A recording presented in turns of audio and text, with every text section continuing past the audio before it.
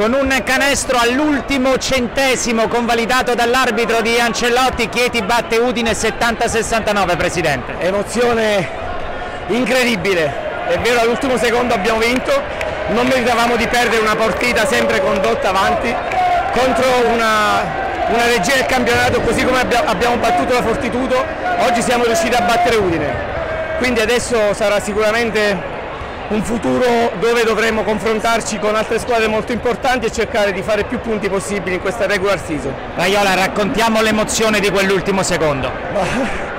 È una grande, una grande vittoria, guarda, veramente perché secondo me a parte i primi 6-7 minuti siamo stati sempre avanti e bravo Gentile a andare sul più uno, un secondo dalla fine sembrava, sembravamo spacciati ma bravissimi a eseguire la rimessa, la palla di tocco Lancellotti buono stoppato il tabellone quindi ci cogliamo questa vittoria che l'abbiamo voluta alla grande e un'altra vittoria per continuare in questo ultimo trend positivo delle ultime sei. Ne abbiamo vinte quattro. Racconti Andrea quel secondo finale?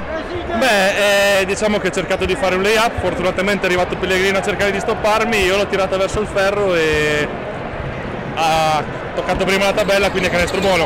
È andata bene perché quizás andaba dentro, qué cosa, pero